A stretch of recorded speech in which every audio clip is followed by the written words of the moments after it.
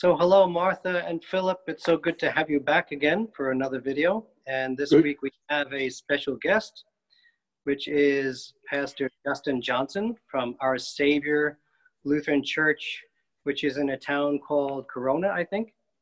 That's exactly it. Corona on the Hudson.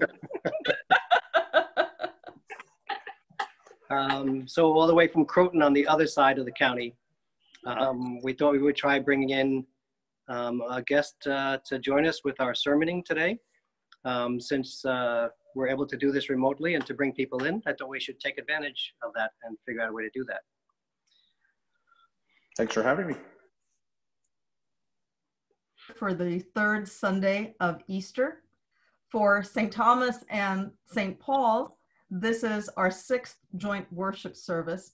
And even though we are not able to come together to worship in person, we're gathered in virtual space and God is with us. So this makes it a holy space for us. We welcome all who are seeking God's love and grace. We welcome all because God welcomes all.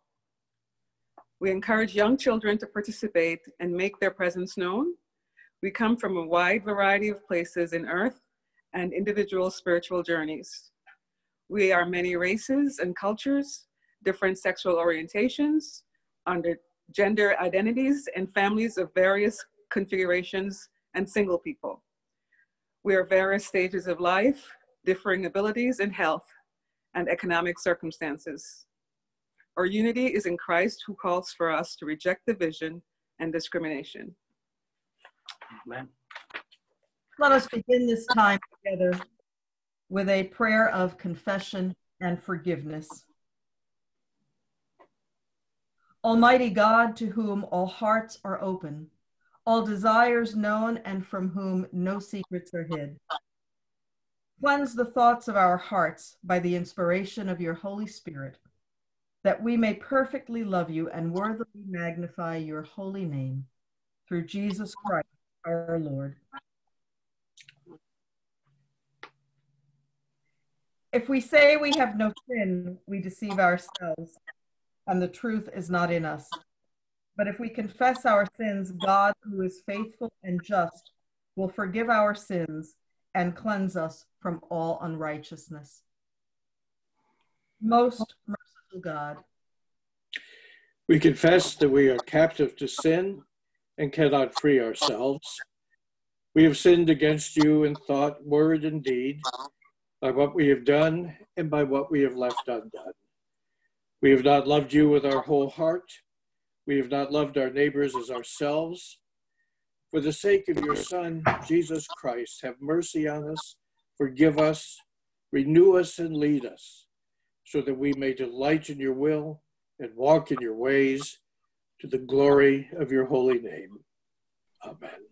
Almighty God, in mercy, has given his Son to die for us, and for his sake forgives us all our sins. As a called and ordained minister of the Church of Christ and by his authority, I therefore declare to you the entire forgiveness of all your sins in the name of the Father and of the Son and of the Holy Spirit. Amen. The grace of our Lord Jesus Christ, the love of God, and the communion of the Holy Spirit be with you all. And also with you. Let us pray. Holy Lord, your followers give to your children something more powerful and more valuable than riches. They gave healing and hope. Bring healing and hope into our world and show us evidence of your presence in our lives. Alleluia. Alleluia. A reading from the book of Daniel, the third chapter Deliverance from the Fiery Furnace. King Nebuchadnezzar made a golden statue in the province of Babylon. The king sent for all the officials of the provinces to assemble and come to the dedication. The herald proclaimed aloud, You are commanded, O peoples, nations, and languages, that when you hear the sound of the horn, pipe, lyre, trigon, harp, drum, and entire musical ensemble, you are to fall down and worship the golden statue. All the peoples fell down and worshiped the golden statue. Certain Chaldeans came forward and denounced the Jews. they said to the king, to King Nebuchadnezzar, O king, live forever. There are certain Jews whom you have appointed over the affairs of the province of Babylon, Shadrach, Meshach, and Abednego. These pay no heed to you, O king. They do not serve your gods, and they do not worship the golden statue that you have set up. Then King Nebuchadnezzar, in furious rage, commanded that Shadrach, Meshach, and Abednego be brought in and said, If you do not worship, you shall immediately be thrown into a furnace of blazing fire and who is the God that will deliver you out of my hands? Shadrach, Meshach, and Abednego answered the king, O Nebuchadnezzar, we have no need to present a defense to you in this matter. If our God, whom we serve, is able to deliver us from the furnace of blazing fire and out of your hand, O king, let him deliver us. But if not, be it known to you, O king, that we will not serve your gods, and we will not worship the golden statue that you have set up. Then Nebuchadnezzar was so filled with rage against Shadrach, Meshach, and Abednego that his face was distorted. He ordered the furnace to be heated up seven times more than was customary, and ordered some of the strongest guards in his army to bind Shadrach, Meshach, and Abednego, and to throw them into the furnace of blazing fire. Because the king's command was urgent and the furnace was so overheated, the raging flames killed the men who lifted Shadrach, Meshach, and Abednego. Then King Nebuchadnezzar was astonished and rose up quickly. He said to his counselors, Was it not three that were thrown bound into the fire? They answered the king, True, O king. He replied, But I see four men unbound, walking in the middle of the fire, and they are not hurt. And the fourth has the appearance of a god. Nebuchadnezzar then approached the door of the furnace of blazing fire and said, Shadrach, Meshach, and Abednego, servants of the Most High God, come out, come here. So Shadrach, Meshach, and Abednego came out from the fire.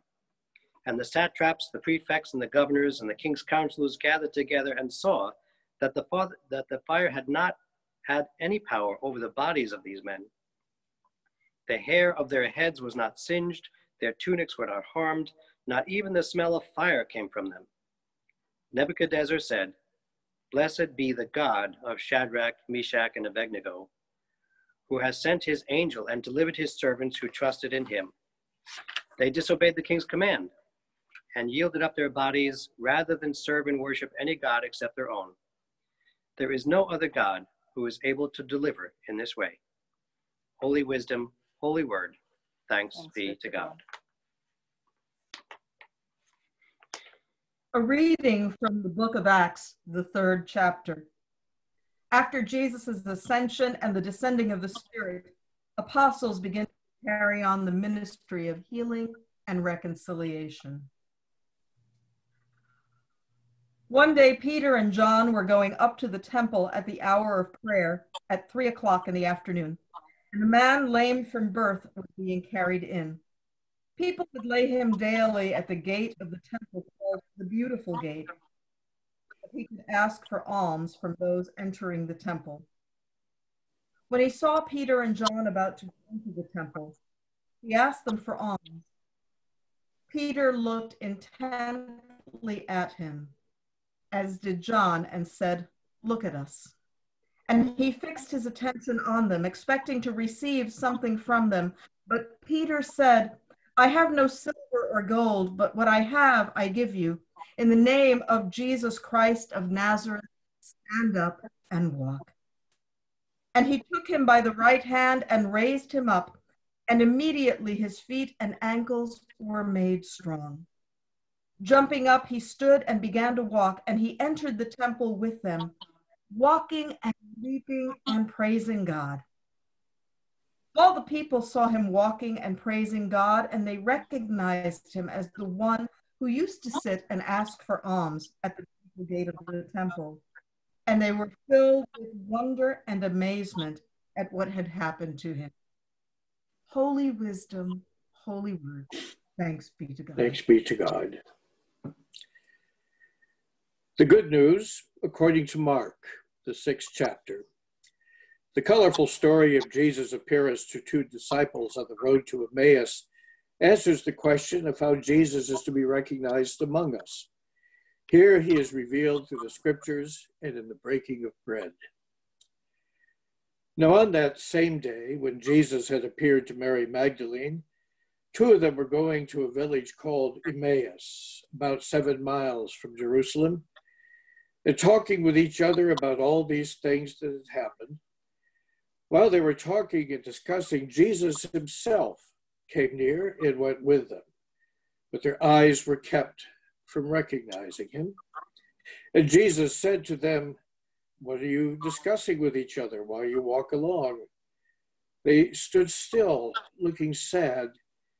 Then one of them said, whose name was Cleopas, answered him, Are you the only stranger in Jerusalem who does not know the things that have taken place these days? He asked them, What things? They replied, The things about Jesus of Nazareth who was a prophet mighty indeed in deed and word before God and all people, and how our chief priests and leaders handed him over to be condemned to death and crucified him. But we had hoped that he was the one to redeem Israel. Yes, and besides all this, it is now the third day since these things took place. Moreover, some women of our group astounded us they were at the tomb early this morning, and when they did not find his body there, they came back and told us that they had indeed seen a vision of angels who said that he was alive. Some of those who were with us went to the tomb and found it just as the women had said, but they did not see him. Then Jesus said to them, Oh, how foolish you are, and how slow of heart to believe that all that the prophets have declared. Was it not necessary that the Messiah, the Messiah should suffer these things and enter into his glory? Then, beginning with Moses and all the prophets, he interpreted to them the things about himself in all the scriptures. As they came near the village to which they were going, he walked ahead as if he were going on. But they urged him strongly, saying, Stay with us, because it is almost evening and the day is now nearly over. So he went in to stay with them. When Jesus was at the table with them, he took bread and blessed it and broke it and gave it to them. Then their eyes were opened and they recognized him, and he vanished from their sight. They said to him, to each other, Were not our hearts burning within us while he was talking to us on the road, while he was opening the scriptures to us? That same hour, they got up and returned to Jerusalem. And they found the eleven and their companions gathered together. They were saying, The Lord has risen indeed, and he has appeared to Simon. Then they told what happened on the road and how Jesus had been made known to them in the breaking of the bread. The gospel of the Lord. Praise to you, O Christ. So, we wanted to have a conversation about this gospel reading We've got three beautiful readings here, but we're going to focus on the gospel. Um, it's printed as the Gospel of Mark, but it's the Gospel of Luke. Um, so we're very um, glad to have our guest, Justin Johnson, pastor of our Savior Church. Um, so I wanted to open with us thinking about how, you know, sometimes when we read these stories, we wonder who these people are and what their life was like. Um, but I'm wondering, Martha, if you think about um, these disciples, if you think that there's any way in which we might be able to relate to them and what they're doing and what they're experiencing.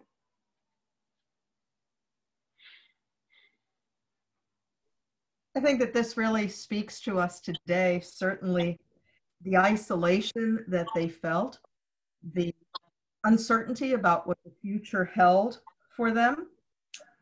They are confined in that upper room, that sheltered place. And just as we are right now in a period of isolation, we don't really know what is coming. For those of us here in New York, we hear a date of May 15th, but in reality, we don't know when our lives will resume. Since we have gone through Easter, but we're still living in a Lenten time, waiting for resurrection. So as we look at the story of these disciples and how they were feeling their disappointment, the fact that life could not go on as it had been. That's something that I think we can all relate to at this time. We can enter into the story. Uh, St. Ignatius Loyola teaches us to place ourselves in the gospel. We can enter this story and we can be those two people walking down that road, distant from anyone else, and not knowing what will come next.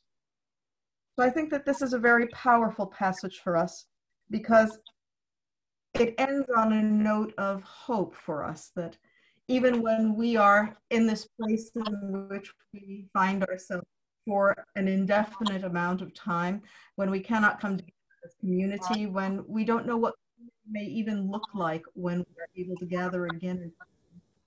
We take our comfort and we have the assurance, the reality that Christ is there walking with us that even when we gather in virtual space, that becomes holy because Christ is with us. And so we can relate to this passage on numerous levels, knowing that that reality is there, that promise has been fulfilled. No matter what we experience, we are not alone.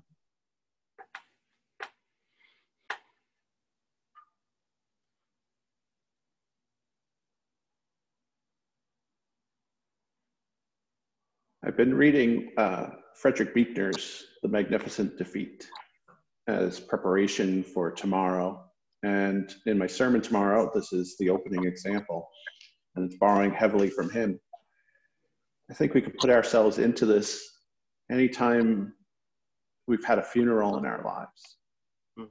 That moment immediately after, when life was normal at one point death happens. And then there's this moment immediately after the funeral where the talking has stopped, where the, the uh, chit chat has, has ended, where the handshaking is done. And you know life has to go on, even though the one that you loved completely and wholly is now gone. And so, as the disciples or these apostles are, are walking away, we don't know their relationship to Jesus, whether they were there or not. We, I mean, we know that they were present probably at his crucifixion, but how much of the inner circle they were, we don't know. But we know that disappointment. And we know that feeling of heaviness after being through a giant traumatic experience, one that, that resulted in death and now, this moment that we have to move on from this, trying to piece our lives together after this, after that hope and that expectation. So that's how I see myself in the midst of this, having gone through funerals before, and that just that one moment where that deep breath comes, and it's almost, well, what do we do now?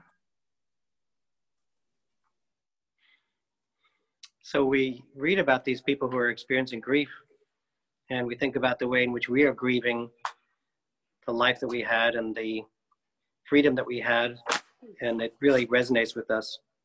I think this story is meant to tell us something, Justin, about how we connect to Jesus, how we can connect to Jesus. He's not going to walk up next to us on a road. Um, but uh, the disciples, he was walking next to them and they didn't recognize him. But I think it's meant to tell us something about how we can connect to Jesus, how we can expect to do that. Yeah, if, if you come to my church, you often hear me say that every person that we interact with, every person that we connect with, every person that's standing in front of us should be Jesus to us.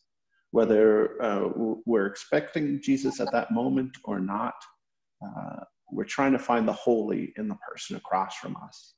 And so for me, the connection and, and, this is what I've been missing throughout this whole thing as we as we've had a pause on communion is every time I place the bread into somebody's hand and say this is for you this is that moment of deep connection between uh, between me and Christ standing in front of me and that person is looking at me and saying here is Christ being present and so it's this really holy moment in that in that tiny fraction of a second that we have. And so that's what I say when we go out into the world, how much are we looking for Christ in the other person?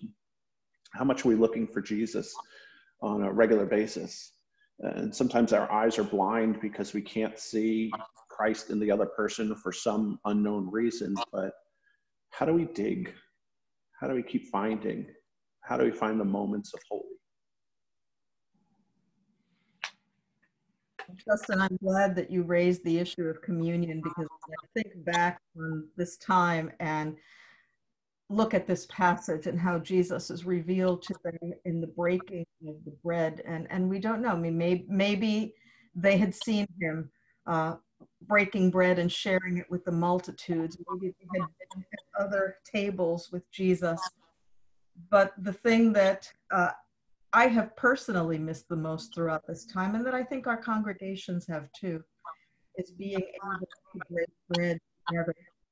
And in the absence of that, I think we, we have found and continue to find other ways in which to recognize the Christ in one another. Uh, we, we recognize it when we gather like this and, and we see Christ present with us. Uh, in our congregation, we see it when we gather you know, for uh, to do our business together uh, virtually, or when we've started gathering on Wednesday evening, live Zoom prayer. So it is challenging us to find new ways of, as you said, seeing the Christ in each other, and to recognize that each one is a child of God, that each one is someone for whom Christ came someone who has reconciled in Christ to God. That could be challenging sometimes, especially when our thoughts are elsewhere, when we think about our differences rather than our commonalities.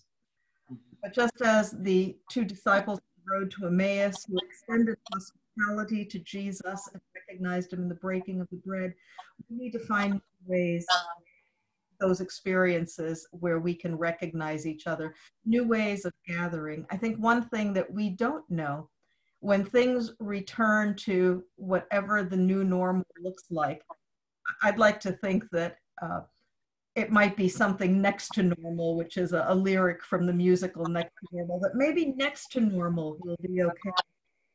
We still don't know what that might look like when we gather as a community, when we gather for worship, so in some ways, we are learning to recognize and to turn in new ways that will carry us forward in ministry. I think this time will certainly shape us in ministry as well.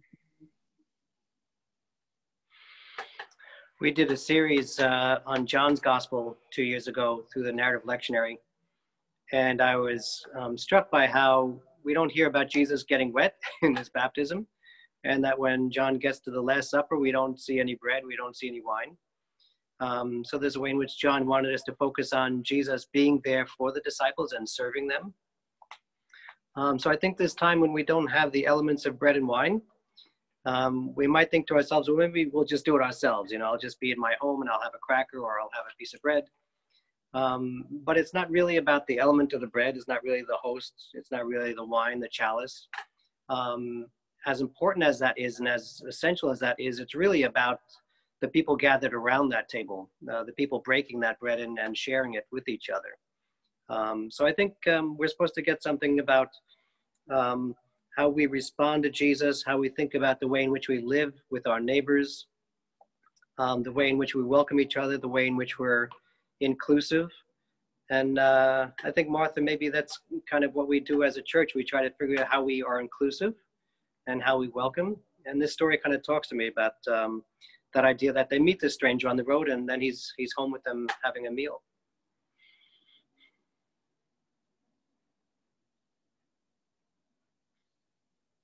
I think that that's a level of hospitality that was very common in Middle East in the first century and perhaps very common in other parts of the world today.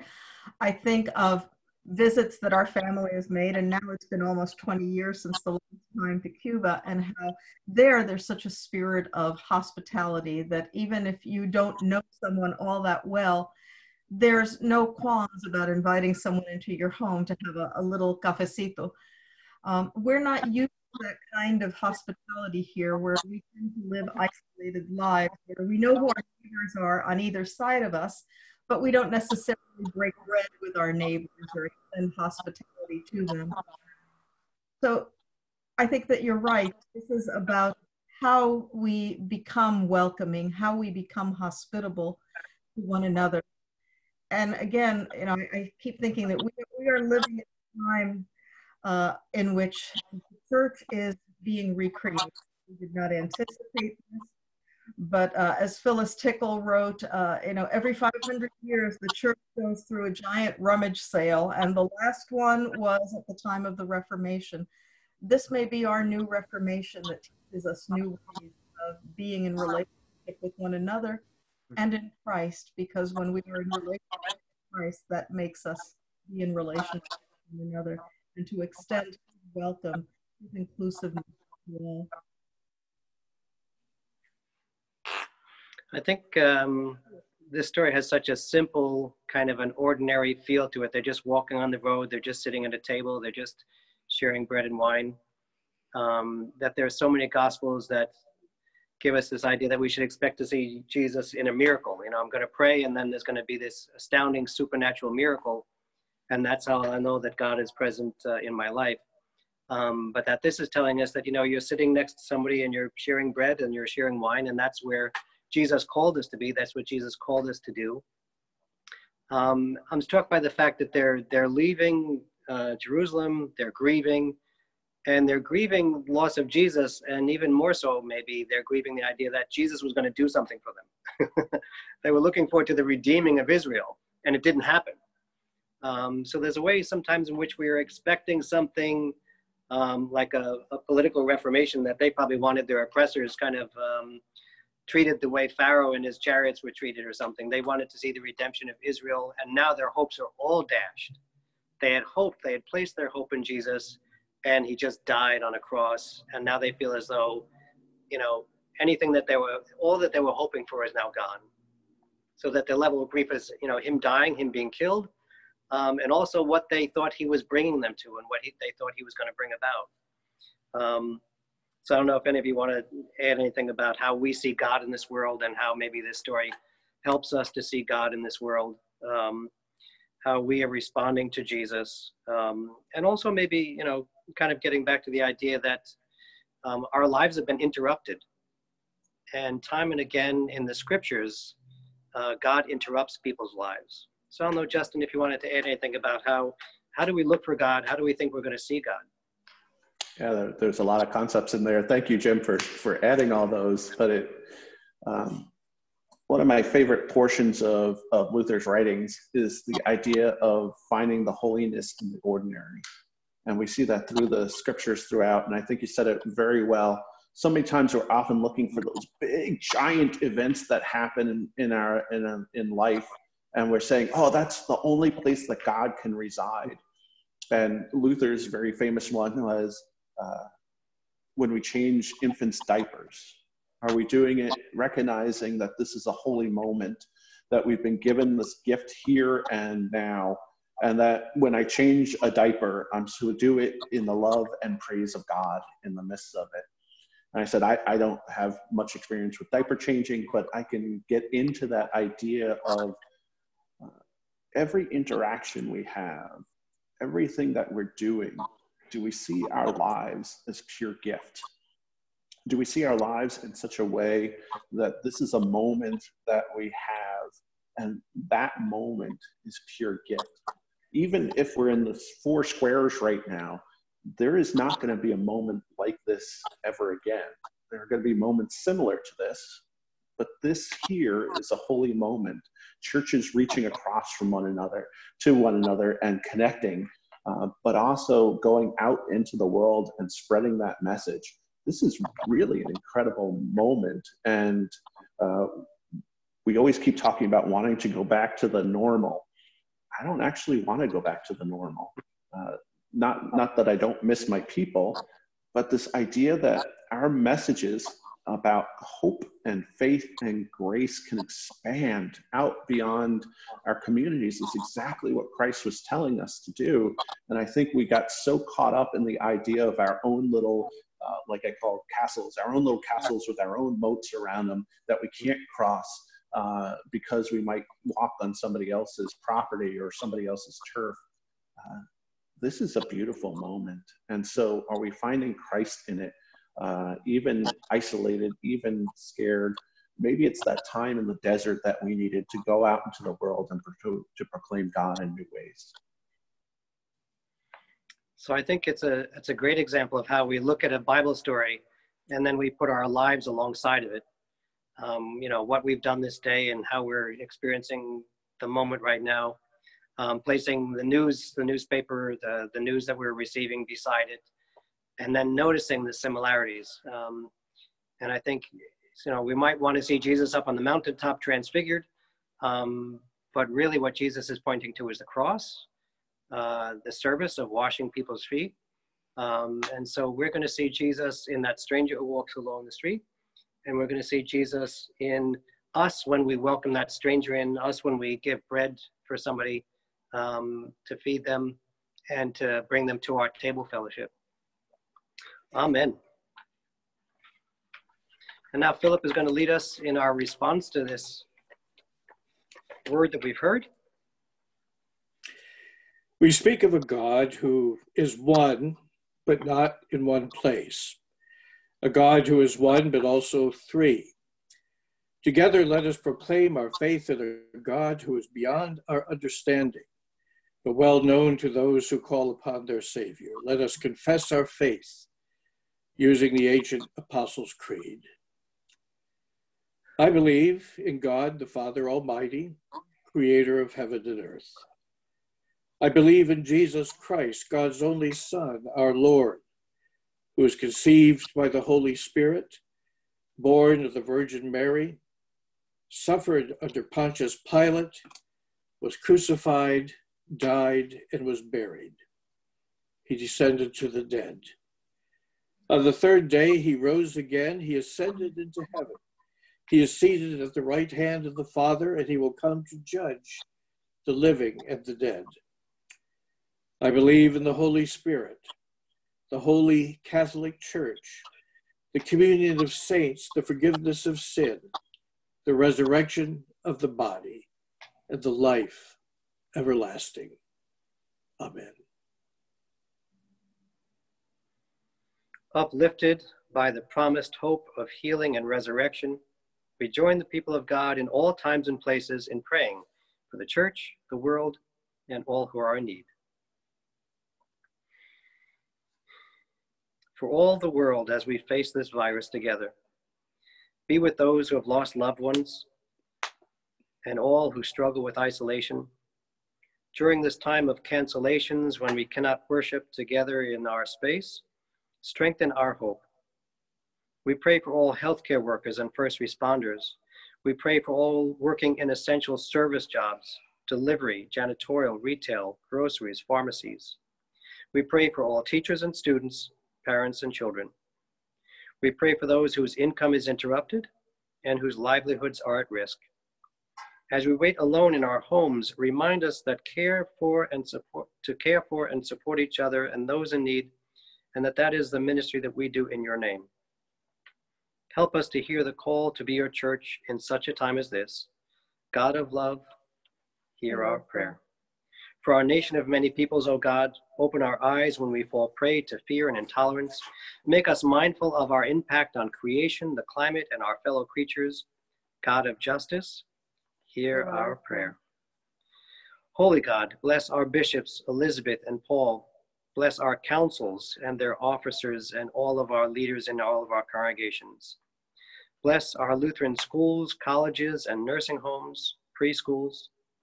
May we each discover how our talents can be used to your glory. God of joy, hear our prayer. For peace to ring out in our hearts and in our homes, for mercy and forgiveness to reign in every community, for war to cease and hunger to end, God of hope, hear our prayer. Create in our hearts a yearning to rest in your promise of eternal and resurrected life. Give us thankful hearts for those who have died even as we look forward to the hope of new life with you. Lord, in your mercy, hear, hear our prayer. O God, receive these prayers and the prayers of our hearts through the power of the Spirit. In Jesus' name, amen. The peace of our Lord and Savior Jesus Christ be with you all. And also with you. And we do peace as this. What there, there's two words there. Do you remember the two words? This is a word, and then this is calm, and those two words together are peace, and then this is with and you.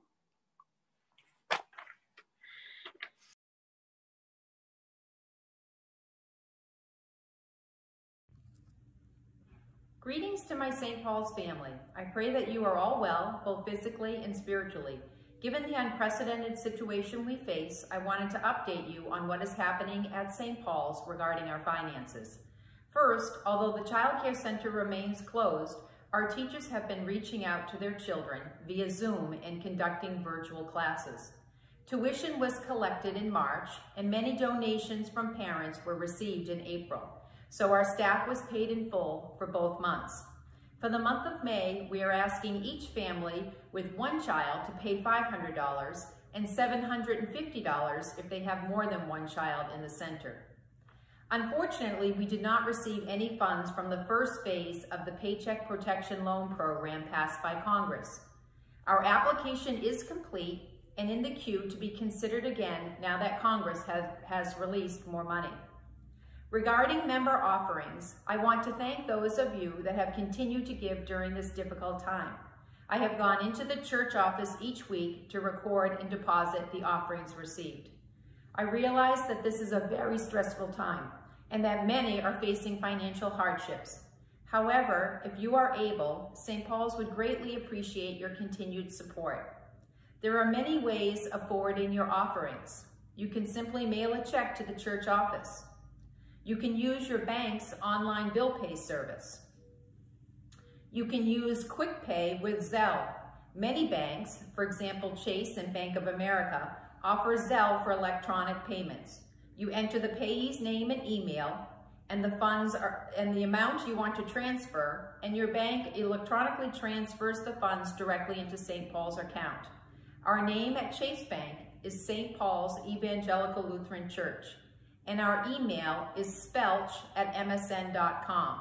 S-P-E-L-C-H at msn.com. You can also use Venmo. Using the Venmo app on your smartphone or iPad, you search St. Paul's-Ryebrook. Click Pay or Request. Enter the amount and click Pay. Venmo then transfers the amount to St. Paul's account. In closing, I want you to know how much I really treasure all of you. You are such a blessing, and I am keeping you all in my prayers. If I can be of any help, please reach out. Stay well, and God's peace be with you all. Let us pray. Good and loving God, we rejoice in the life of Jesus, who came among the poor to bring the riches of your grace. As you have blessed us with your gifts, let them be a blessing for others. With the trees of the field, with all earth and heaven, we offer our praise and thanksgiving to your Son, Jesus Christ our Lord. Amen. Amen. Lord, make us bold to address you as our Abba, as we pray. Our Father, who art in heaven, hallowed be thy name. Thy kingdom come, thy will be done, on earth as it is in heaven. Give us this day our daily bread, and forgive us our trespasses, as we forgive those who trespass against us. And lead us not into temptation, but deliver us from evil. For thine is the kingdom, the power, and the glory, forever and ever. Amen. Amen. Did we have any closing thoughts that we wanted to add? I was just thinking that um, usually in our prayers we have a list of names, uh, so we're kind of doing those each in our own way, um, but not jointly. But we might lift up uh, Pastor Marv Hank of St. John's in Mamaroneck, who's been hospitalized. Uh, pray for him and for his family and for his congregation. Did anybody else have any other closing uh, thoughts that they wanted to add? Or I wanted to thank Justin for traveling all the way from Corona, Queens, from from Croton, from Croton, Westchester, and Martha for traveling all the way from Central Nyack, um, and Philip for traveling all the way from Portchester, uh, to do this together. And this was a holy moment, as uh, Justin said. And anything else to close with? Anything else? So if we can have our benediction from Justin. Absolutely. Thank you for inviting me this week. So, may the Lord bless you and keep you. May the Lord's face shine upon you and be gracious to you. May the Lord look upon you with mercy and grant you peace. Amen. Alleluia.